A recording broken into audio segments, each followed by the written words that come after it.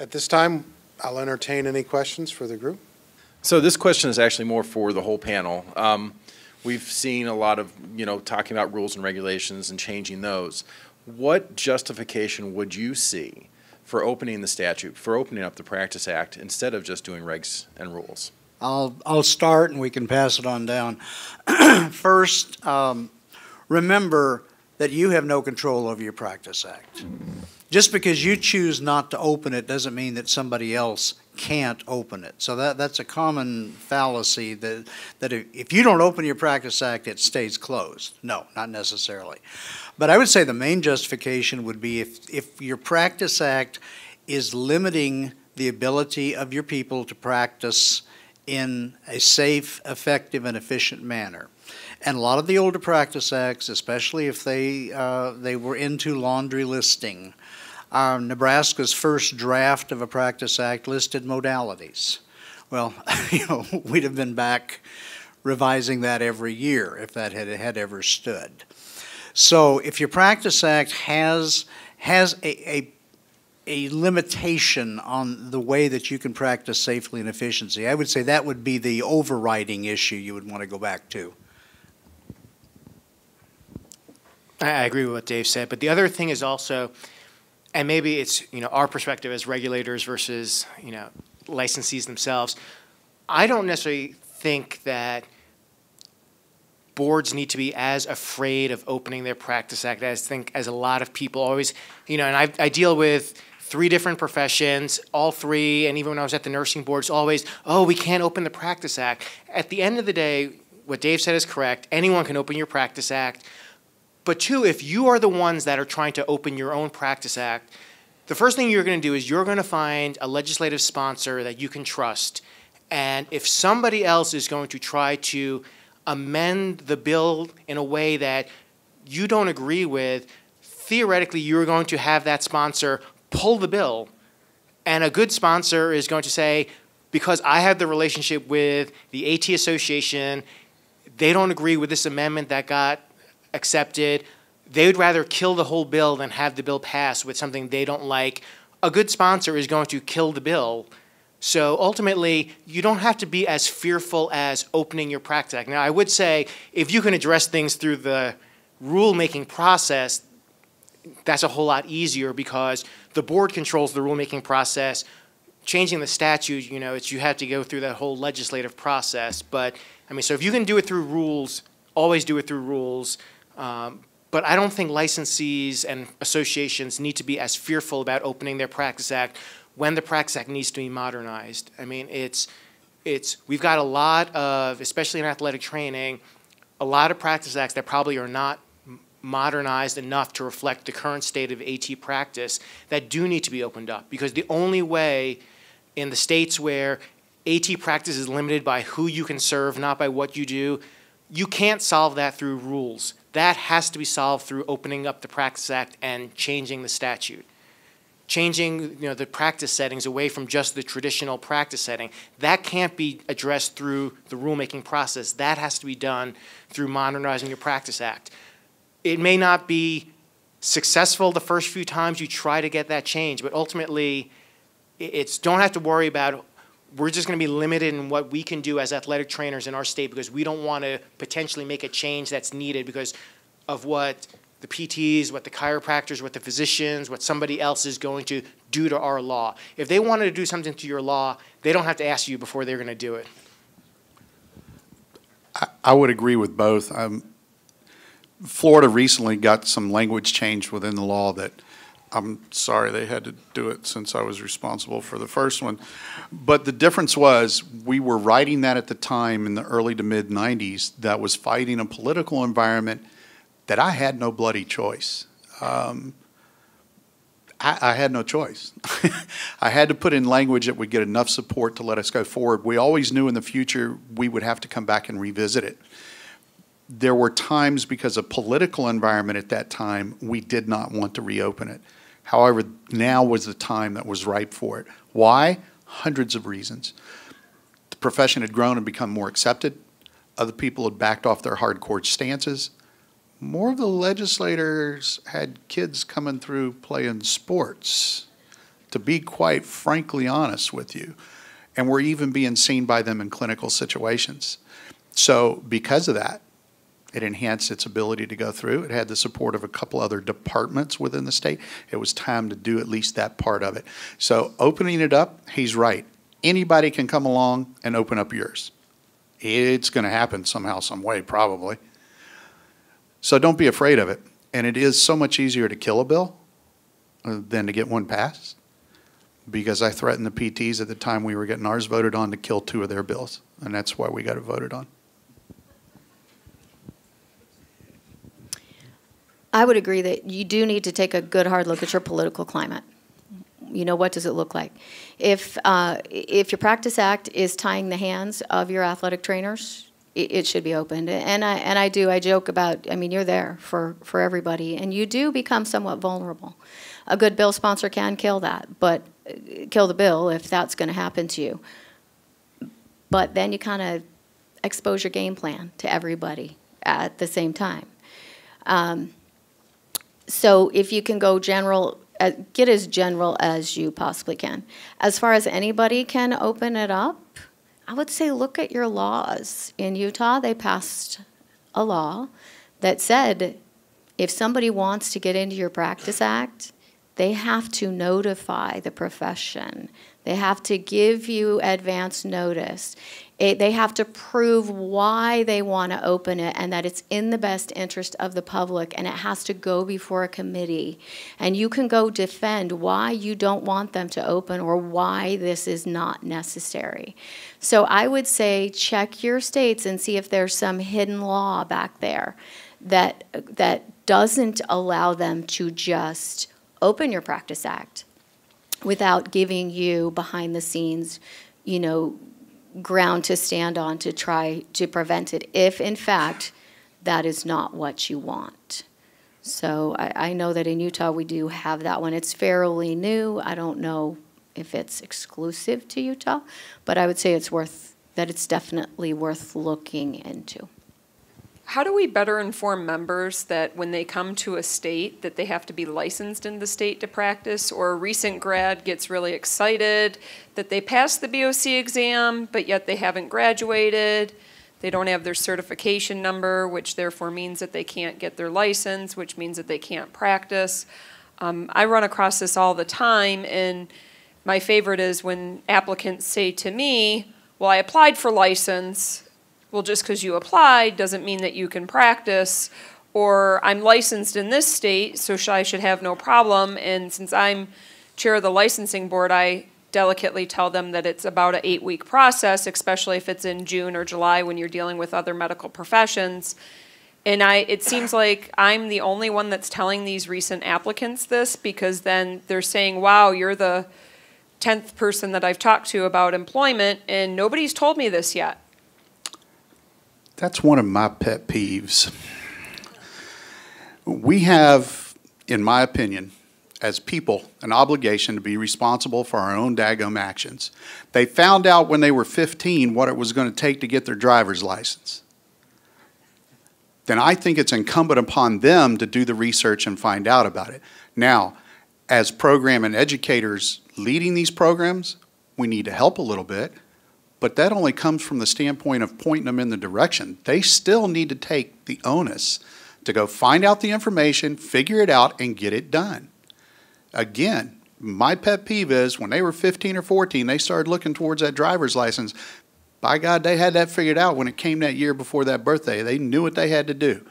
There's no difference in my mind. So don't feel bad. And and every time it is, when somebody looked at me, even early on in those days back in the 90s, and said, well, what are you going to do about it? I looked at him and said, well, What are you going to do about it? It's your responsibility as a professional to do it.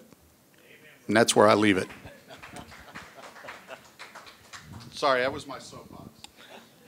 I guess I have a question, Shannon. When they receive their BOC card, they've passed, and they, congratulations, you passed. Do they get any little notice saying, hey, make sure, whatever state you're going to practice in, make sure you consult their laws to see what's required? Yes. There we go. Done. No, they, even when they pass the exam and they're not yet certified, if their file's not complete, we explicitly tell them in the notification that they are not allowed to use ATC yet because they are not yet certified. Once they are certified, we actually have a series of emails that goes to the newly certified people. The very first one says you need to get a license to practice. So they are being told by us.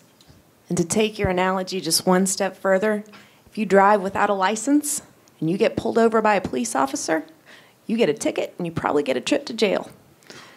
If you practice without a license, there should be a hefty penalty. And it doesn't take but one time of getting that reinforced, and people will talk. And t- to address that, the hefty penalty is often, the board's going to discipline your license. And as I, whenever I talk to students, it's, when you get disciplined by the board, that is something that stays with you for your entire career. That's reported to the National Practitioners Data Bank. We post it on our website. When we verify your license to another state, it'll say that your Ohio license was disciplined. So it's not, you know, just a simple mistake that just goes away. It will stay with you for the entire time you are practicing as an athletic trainer. I may not be a veteran, so to speak, yet. Um, I'm getting there. Veteran in healthcare. But um, when I came out of my program for athletic training, they drop kicked you into the field and said, go get licensed now.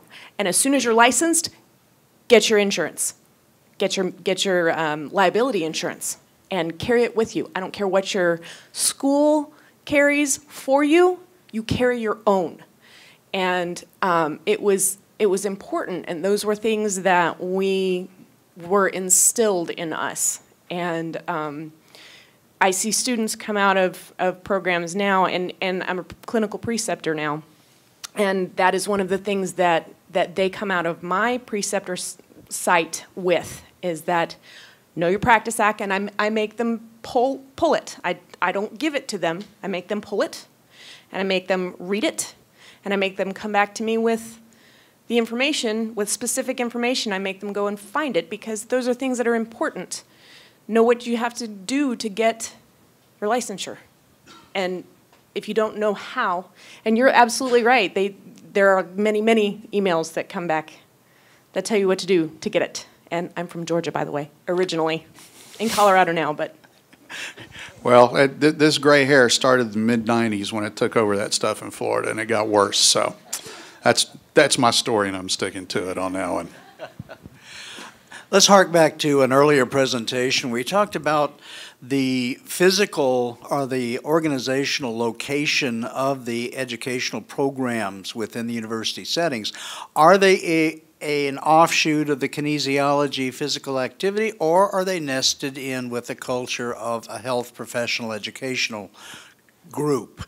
And there's another advantage to being part of that health professional education is that licensure is a very real, a very common issue within all of the health professions. So it's worked more into the curriculum as you go through. It's worked more into the culture of the, the educational programs itself. Whereas if the program is freestanding or associated with other areas, sometimes that aspect can get overlooked. Thank you guys for your presentation. I greatly appreciate it. You each gave some uh, discussion on the political climate of the time. Uh, it, it may seem easier to read when it's a good thing to open the act, and there may be some nuances when it wouldn't be. Would you lead on to some uh, nuances when, in the political climate, some things that people wouldn't usually look for when it's not time to open, open the act? My experience has been you've got to pay close attention to the subtle overtones of the party in control of government in the state and who sits in the governor's mansion.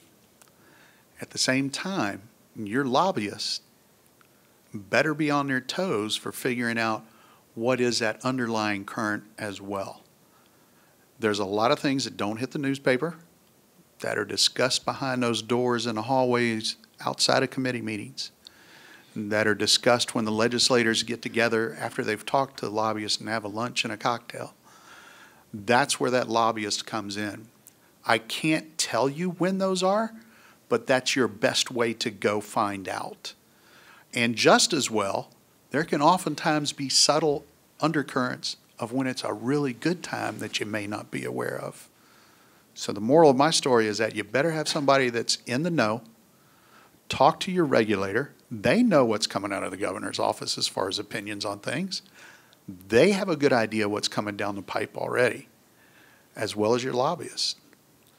And that's the best recommendation I can give you for both ways. I would say if your arch nemesis legislator becomes the Speaker of the House, that might not be a good time. Until your allies become the Chair of Rules, the Chair of Health and Human Services, and call in all their political favors and then go directly to them and say, promise me that you won't shuffle the board and sneak something in. And then, if that does happen to you, start it on the other side. Start it in the Senate so that they can't go behind your back and do something to it in the other, on the other side. I think this goes back to the great commandment, thou shalt not regulate in a vacuum. You have to be plugged in with the, the political currents of your state, territory, province, or jurisdiction. Uh, you have to know what's happening in other professions. You have to know what's happening with the, the political situation. If you are trying to simply sit in an isolated office and talk to no one but athletic trainers, there's never a good time to open your practice act because you will be clobbered every time it happens. Uh, remember that there are two golden opportunities for thinking about opening a practice act, though, and you, you can then take the negative or the, the obverse of those. The first is when you have a change in the governor's office because at that point everything kind of goes by the wayside. Uh, policies can change, people will change, or institutional memory will be short circuited to some degree. So there's always an opportunity there for getting some kind of change on the table. And the second one is whenever you have that similar kind of, of overturn or change in the legislature, uh, be particularly aware of who have been, which senators or legislators have been your particular allies or opponents over the years, and pay attention to their political fate, because that will give you a good clue as to when it's time to go in and maybe, maybe make an overture. And, and really, just, just one last thing on that is, I get, I get back to the, once you get in, you really don't get out, because you'll have the history, and so uh, somebody who's brand new coming in doesn't have the history. They don't know the fights that you've been through, and if you've tried this before, or, you know, made some kind of a backroom deal about something, one thing or another. So, so once you get in, you really, you really need to be tied into it for the long haul, even if you're just there as a reference. I appreciate, uh, Tim, when you talk about don't, uh, don't make a rule for something that there's already a rule there for. Uh, an example within our university, I don't make a program rule if there's already a university rule in place. My question to you in writing the rules and regs, who could you identify as a resource? Because I don't know what I don't know about other laws within that type of thing. Who do we, is there specific resources that we can reach out to to help delineate those rules, those type of things? The one person that was my best friend during that whole time was the lady from the AG's office, Kathy Lannon. I still hold her on a pedestal to this day. Whether it's the person from the AG or the judge advocate, whichever way it works in your state, that is your best person. They can tell you in an instant. If not, they'll get it back to you in 30 minutes as to whether or not it's necessary. They're going to know and help direct you a lot of time telling you which ones you do need to write. And if you start down that path of one that may be redundant, they're going to tell you that ahead of time. Because the fewer times you encounter a redundancy in writing your rules and regs, the quicker the final approval process will be done. Whether it's another, in, in Florida, for instance, for all those years, the AG helped us. Then it went before a JAPC, which is a judge advocate panel that had to finish clarifying and approving. And it would be publicly noticed before that and during that process. Once it hit JAPC, if we kept putting up things that were redundant and JAPC kept going, well, why are you doing this? It's already there. They're going to tie us up or, or turn down others that we were writing. That person from the AG or even the JAPC or the judge advocate, however it is in your state, and find that out. That's what you've got to be sure of, first of all. That person is your best friend during that process. There's no other way to say it. Um, it, that's who it is. Because, uh, out of curiosity, anybody in here hold a JD degree? Oh, shut up. Okay, but it, am I wrong on that? None of us, other than Tom, are in here with a Juris Doctorate. We're not attorneys. And even within that, there's areas of specialization, specialization that have to do with regulatory and constitutional law. Those are the people who sit in those positions that help you out. But because you're a board doing a public function, it should be somebody internally in the state, so you're not really totally billed for that thing. And that's who it is. Florida worked in such a way that the AG was appointed to that board, especially in its infancy. Uh, It was just for that purpose. And I was not kidding. At that point in time, she literally sat on my right-hand side at every meeting to either elbow me or smack me for something I was getting ready to have us do. And she would clarify language and say to us, you guys are too onerous on that disciplinary matter. You're writing something that's stupid the way it sounds. And it's probably on a tape somewhere because of Florida sunshine laws, and she told me that numerous times. I'm just saying, I mean, that is your best asset in ally. There's no other way to say it. I, I would say, think of the question, who writes the laws in your state? In Utah, we have um, what's called legislative research. You have the idea, you go to ledge research, ledge research says you need to, you don't need to, here's what it's going to refer back to and whatever else. So who actually writes your laws? If you have a ledge research, that might be a good place to begin. Once again, I want to thank the panel for their time. And um, at this time, um, lunch is available, compliments of the BOC.